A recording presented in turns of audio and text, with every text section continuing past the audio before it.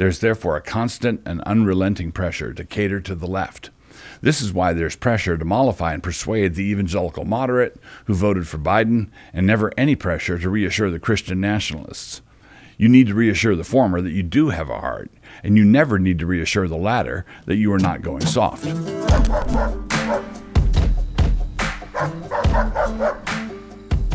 Introduction.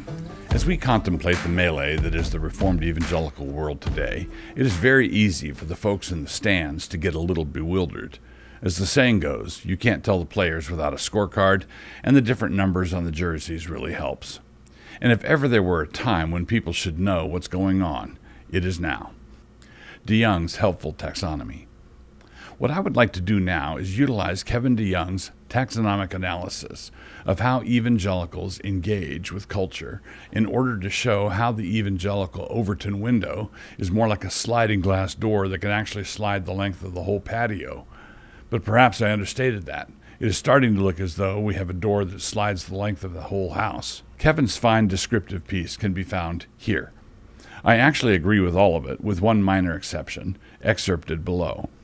Quote, the loudest voices tend to be ones and fours, which makes sense because they tend to see many of these issues in the starkest terms and often collide with each other in ways that makes a lot of online noise. The ones and fours can also be the most separatist, with some voices, among the ones, encouraging an exodus from white evangelical spaces, and some voices, among the fours, encouraging the woke to be excommunicated. Kevin DeYoung. I do agree that ones and fours tend to speak most forcefully, but I would want to make a few minor adjustments. I think DeYoung would agree that I am a four, but I would argue that fours are probably the most ecumenical of the lot. I would have no trouble publicly quoting a three with approval and without qualification, and yet a three in good standing would have to be out of his mind to quote me with approval and without qualification. Correction, he would have to be out of his mind, or he would have to be Sam Allberry, who apparently has a go anywhere pass, enabling him to do what he likes. In my experience, the threes tend therefore to be the most separatist. They have to be like that because they are the orthodox ones with the surliest hypothetical audience. For more on hypothetical audiences, see below. Were a three to quote me like that, the ones and twos would be all over him like white on rice. But I do hasten to add that by saying this, I have no intention of silencing the marginalized voices of brown rice. I actually had no desire to hurt anyone, and I humbly apologize. And I would not call for the excommunication of the ones, but rather for their removal from leadership, which is quite a different thing. If Kevin DeYoung, a three, were to visit Christ Church, I would want to invite him to preach, and I obviously wouldn't do that if a woke one came. But we would serve communion to anyone baptized, whether a one, two, three, or four. A test case.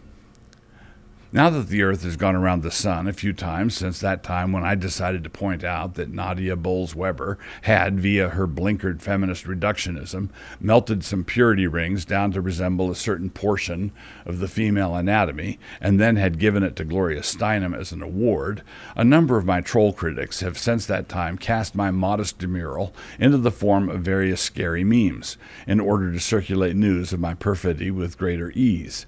This they industriously do whenever an opportunity arises. Being opportunists as they are, this is not difficult for them to do.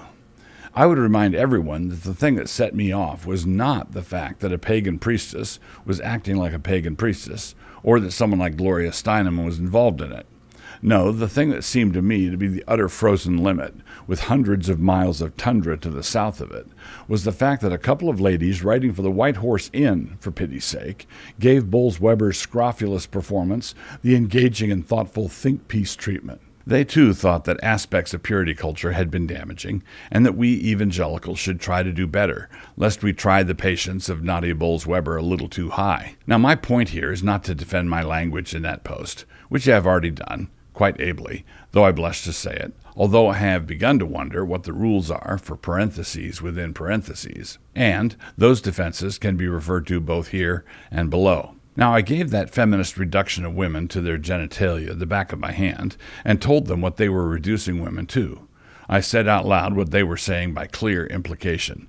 The two ladies writing for a ministry that Michael Reformed True North Horton launched tiptoed through that whole sorry business, on the other handing as they went. So there's your contrast backhanding and on the other handing, a 4 and a 2. Now, which person is bidding fair to get the non grata stamp of disapproval from the threes in all of this? I will tell you. The White Horse article is still up and no apologies, and the two women associated with it could be easily hired by any organization in Gospel Coalition circles, and without exciting any murmured heavens to Betsy or whatever passes for acceptable swearing in TGC circles. So, in which direction is the cultural discipline being applied? Whatever category you are in, according to DeYoung's metric, which neighbor are you required to placate and which to shun? The one to your right or the one to your left? Say you are a speaker of the Gospel Coalition type, and it comes out that you are going to be speaking at a conference that is pretty sketchy. And by sketchy, I mean the kind of thing that would have provoked the Apostle Paul to say that the organizers of said conference, quote, would not inherit the kingdom of God, close quote. We don't know the details of the sketchiness because that would wreck my illustration, but we do know that it is in fact sketchy. Now, let us say that the fact gets out that you're going to speak at the Gotham City Sketchy Conference 2022, and enough controversy erupts that you believe that you need to issue a press release. In that press release, you let it be known that you differ with the organizers of the conference decidedly, that you made that abundantly clear to them before you accepted their invitation, that the organizers had put no restrictions on what you would say, that you believe that everyone needs to hear the good news about Jesus Christ, and that you have a very firm commitment to inerrancy. All of that sounds great, at least to me. Would any of it matter? Well, yes, it would, in about half the hypotheticals. You tell me which hypothetical conferences you would still get to go to, having said a bunch of true things about all of them. A conference hosted by the Black Lives Matter chapter of St. Louis, Missouri. Revoice, also in St. Louis, Missouri. Proud Boys of Eastern Oregon. They live close enough to Portland to drive there for quote unquote events. Oath Keepers on Bikes from Tulsa, Oklahoma. Evangelical Fan Dancers of Vegas. Grace Agenda 2022 in Moscow, Idaho. To which events would the voice of sweet reason apply and to which not? I think we all know the answer to the question, do we not? And so, to the extent this applies, I would argue that DeYoung's categories, numbers one through three, are being steered. If the commie worldview were a fisherman, number one is in the boat, already filleted and in the cooler. Number two is thrashing by the side of the boat. And number three is toying with the bait. Maybe just a little nibble a hypothetical auditorium. So this is not a further defense of anything I wrote, but rather a critique of my responsible and reasonable critics, those Christian critics who are true sons of encouragement like Barnabas, but who, also like Barnabas, Galatians 2:13, have been swept up into a general pattern of what I consider to be a quite striking evangelical hypocrisy. Because it is a formally approved hypocrisy, reinforced by a bundle of accepted bromides, those who are trapped by it are usually simultaneously fastidious about it and oblivious to it. In other words, this post is not an answer to satisfy the trolls, who, because of their cast iron frame of mind, are quite frankly unanswerable. But they are not unanswerable in the way that a tight hypothetical syllogism, in the form of modus ponens, is unanswerable, but more in the way that an old railroad tie soaked in creosote is unanswerable. The railroad tie, in other words, has its mind made up. No, this is for those Christians who really want to present a gracious testimony to a lost and hurting world and who are therefore vulnerable to the manipulative techniques of those enemies of the gospel who love their own lostness and who also love the opportunities created by that lostness for continuing to damage and hurt others. And so, like Barnabas, these gracious Christians find themselves trying to appease all the wrong people, which in turn can cause these Christians to become very ungracious to their true friends, which is where the hypocrisy comes in. Whenever a striking collision happens, whenever a polemical exchange occurs, there's a natural human tendency to glance at a hypothetical audience to see how they took it. How are they reacting to all this? But because the audience is hypothetical, those seats in the hypothetical auditorium have to be filled by the one doing the glancing. And those seats will be filled almost of necessity by imagined people who will reinforce the assumptions of the one doing the glancing. We have various tricks for filling up these hypothetical auditoriums with the right kind of people. To illustrate, Think of the teetotaler who is talking to a fellow Christian who drinks. He will fill up his auditorium with recovering alcoholics. What are they going to think when they see you? So and so, on and on. Not only so, but the current zeitgeist has trained all of us to fill up those auditoriums with critics from our left, such that we are pressed and we are constantly pressed to do something to be a little more winsome to them. Do something to satisfy them, surprise them, ingratiate them. There's therefore a constant and unrelenting pressure to cater to the left. This is why there's pressure to mollify and persuade the evangelical moderate who voted for Biden, and never any pressure to reassure the Christian nationalists. You need to reassure the former that you do have a heart, and you never need to reassure the latter that you are not going soft.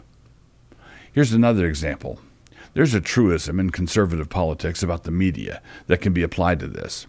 When a Republican is caught in a scandal, the scandal is the story. When a Democrat is caught in a scandal, the Republican reaction to the scandal is the story. Shall I say that again in a manner that is a bit more plain? If a Republican congressman is caught speeding in a red convertible with the top down and with $10,000 worth of crack cocaine found in the trunk, and with a couple of Washington area courtesans along for the ride, that will be the story, plain and simple. If we put a D after that congressman's name, the headline will be something like Republicans Pounce in other words, the auditorium will be filled up with critics of Republican misdeeds in the first instance and critics of Republican overreactions in the second. You see how this works? This is why Robert Conquest's second law, quote, any organization not explicitly right wing sooner or later becomes left wing, has such fine predictive value. Now, the hypothetical audience is an inescapable reality, an inescapable concept.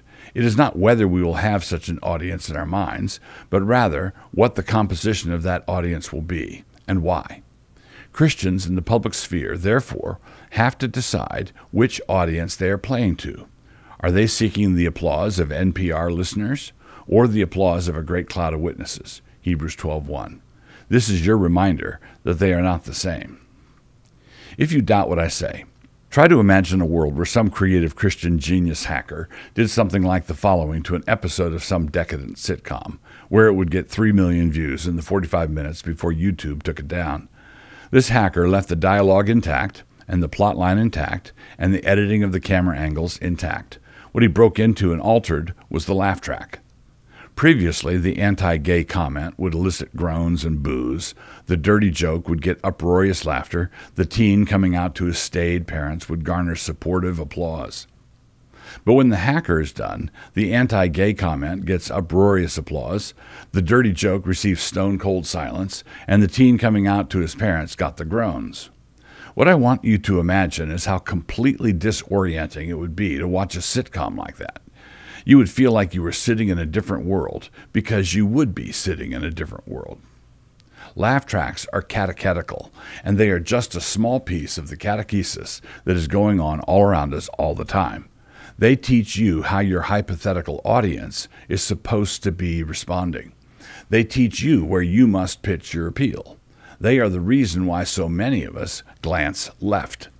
But as soon as you start pitching your appeal in that direction, your hypothetical audience starts to drift further left on you. You find yourself having to move ever leftward to remain, quote unquote, winsome. And this, boys and girls, is how we got from Dan Quayle's Murphy Brown, quote unquote, blunder on single motherhood to the point where we are today, where doctors, without risking their licenses, will actually take money in order to cut off the breasts of perfectly healthy teenage girls. They know they can get away with it because their hypothetical auditorium is filled with tranny sympathizers. And we have gotten to the place where numerous Christians will be far more bothered by the fact that a Christian pastor, me, uses language that includes the word tranny than they are about living in a country where the priests of Baal are castrating boys and mutilating girls. Fastidious hypocrisy. Chesterton is helpful on this topic in two ways. First, he shows how meticulous people can be when trapped in their system. Quote, to be wrong and to be carefully wrong, that is the definition of decadence. G.K. Chesterton. Jesus referred to this when he spoke of those who tithed meticulously out of their spice racks, and to those who went and got the tweezers to get the gnat out of their camel flavored coffee, and those who had a beam in their eye, but attempted to get a speck out of their brother's eye, and those who thought that gold sanctified the altar, and to those who put a second coat of whitewash on the sepulchre.